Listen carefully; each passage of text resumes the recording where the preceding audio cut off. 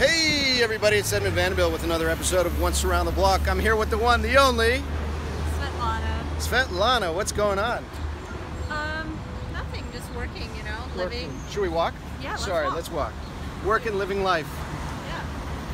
What else is there? What else is there, right? You're right. You, you pointed out. You, you mentioned earlier. Yeah, let's go around this way. Yeah. You mentioned earlier your dress. I'm gonna do just a quick thing about your dress because how lovely. Yeah. It's it's it's a scorcher in Washington D.C. Yes, it is. And you were talking about how nice it is to. We both have a lot of hair. We have a lot of hair. You you have more than I do. You've been you've been more blessed. But uh, but it's a challenge in the making do. months. We're We're making do. You, you yes, very well, very well. So, you were telling me your dress brings a little little joy to your to your day. yeah, you know, when you're like very busy and you just want to sort of put on like some glorified sweatpants and a t-shirt and go and just type all day. Yeah. It's important, you know, to like Totally. put on an outfit. Yeah, like, they say I'm going into the world. World. I, I'm ready for you. Yeah. Yes. So we were just talking about where we are right now. You guys Yeah. moved into an office space. So who's you guys? Who's Svetlana? Is there? Yeah, so us guys is BYT, Brightest Young Things, um, which I don't know, maybe people know, maybe people don't know. I, Yeah. can, I can do a little. Do, do a little spiel. Yeah. Do little- my, do my usual. Okay, so Can you talk know- a little bit louder just in case?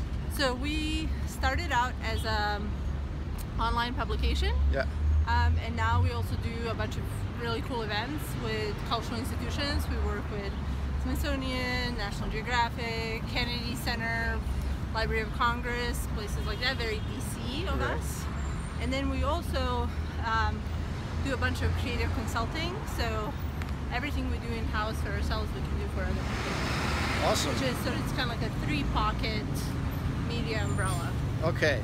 And and you're in DC. This is where you, you grew the business. It That's started very we grew the small. business, very small, you know. Yeah. Um, should I date myself and say that it started on my MySpace blog? Oh my God! What is that? Maybe some of the viewers won't even know what that is. I know. If you were born in the 90s, stop watching. No, I'm kidding. Um, no, it started 11 years ago. Wow. It's going to be 11 years this year Yeah. and eight years this year that I've been doing it full time. Wow. Which is impressive. I, I'm kind of interrupting, but like, you you started your dream. You started your own thing, and you got it to a point where you could do it full time. Yeah. So eight years ago, that was like a huge, uh, like a landmark moment, no? Where where you took it Well, full time. yeah, I feel like it wasn't necessarily like I was ready to do it full time, but it was important make the jump. Right. If that makes Because otherwise, it might have just fizzled. Yeah, you know, you end up kind of doing something. It's, it's your passion. It's your baby. It's all the, all the things, right? Right. Like it's it's your dream, and then you have to at one point make a, if it takes off, you have to make a decision. Do I keep this as sort of just Right. like a hobby, or do I try to make something? Right. Do we try to make something out of ourselves? Um, and so we kind of give ourselves a little bit of a window, Yeah. and I every day I feel very lucky that it worked out That's awesome. and has That's awesome. obviously like grown and changed and Totally. adapted tremendously. If I Uh, just think over the years, how many times you know, how many events, how many interviews, how many photos, things, your, your content, your content is constant, right? Yeah, we publish every hour on the hour. No way. Every day during my the God. workday. So we start at nine and we end at five. Wow. Um, in DC and in New York, and then we also do a Chicago weekend guide as well, Okay. and have fully integrated gay content, which I feel like is important to mention. I fe- It's- that it's being said, you, I, I don't know if they heard uh, what you finally integrated or most recently integrated. Yeah, so we obviously started here in, in DC. Yeah. But uh, we are now in New York and in Chicago Yeah. as well. Yeah.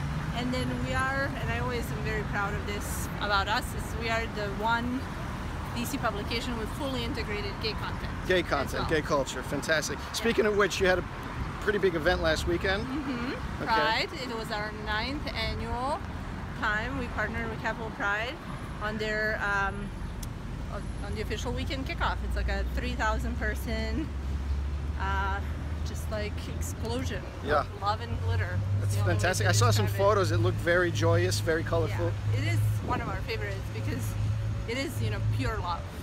Like the party is just pure love. There's Right. no, nothing bad can happen at that event because, like, it's it's such like a definitive celebration. Yes. and the pageantry, very high levels of pageantry. Sure, and I yeah, it's it's growing every year. No, getting more and more. Yeah, I mean, it, essentially, the only problem this party has is that like DC doesn't necessarily have like for like a party that's bigger than like Right. 33, 3,500 people, Uh huh. right? Right. like a- if only. um, so most of the locations, you know, the, the party is actually kind of like limited by the capacity Wow. it sells out every year. So does does does DC need a venue that can host? Is that something that's really missing? Yeah. Maybe, yeah. Or can you get away with doing like multiple locations or stuff? Yeah, I mean, obviously, Pride takes over the entire city. Yeah. This is just kind of like a need for that like one central location Yeah. on Friday before it happens. Okay, I'm gonna move on just because the block is going so fast. Um, We're tall, right? We're walking fast. well, we're normal. We're, we're like walking at a, a comfortable pace, I would say. We're walking at a camera. Yeah. It's good. You you came from far away and you came to the states, right? Mm-hmm. Um, do you want to talk a little bit about that? Yeah, sure. Um, I grew up in Eastern Europe, in Serbia, Yeah. and I came here to go to school, uh, to go to architecture school Okay. in Savannah, Georgia. Talk about like a, you know, Total change of atmosphere, yeah. Total change of atmosphere. Savannah, Georgia. My goodness. Yeah. Savannah, Georgia. And then I came to DC, much like any other, you know, soon to be 23 year old, Uh huh. as a, as, you know, in, in search for a job. Right. So is it like you got the creative kind of vibe, right? How, how did DC become a destination rather than more traditional? I mean, you know, I will say that originally we really, like, I treated it much like most people treat it as Yeah. kind of like a starter city, yeah. right? Like, this will be good, then I'll get like a better job, then I can afford to live in New York or Ah, something okay. like that. Yeah. Stepping usual. stone. Yeah. Um, and then I think maybe like a year or two in, um, I was like, this is great.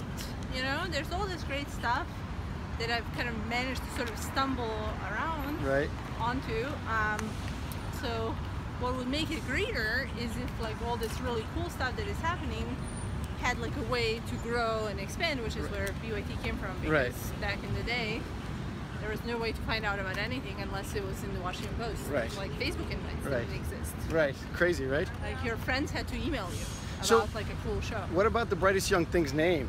Is that Yeah, so I went to high school in England. Yeah. And it's meant to be funny, which, you know, I feel like at this point I've almost stopped saying it. So it's based on the Evelyn Waugh novel, okay? um, Vile Bodies, and in it he refers to this group of people in 1920s London as bright young things, and these people just like in pursuit of pleasure.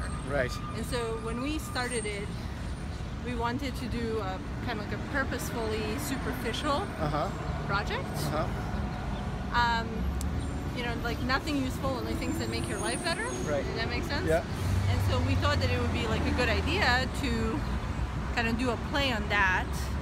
And so if it's the brightest, you know, it's the most superficial. It's just like beautiful things. Right, Nothing but beautiful things. Excellent. We've come we've come around the block already. It was very fast. Very fast. Um, I, I did this little bit called Words of Wisdom. Is there anything Uh-huh. you want to plug? Is there anything you want to say uh, for the well, I mean, plug-wise, we have we have some great events coming up. Yeah. Uh, we have a big Nat Geo event this Friday. Yeah. We have a great JFK Centennial with American History on July 1st. Okay. It's the 10th year anniversary of FotoWeek.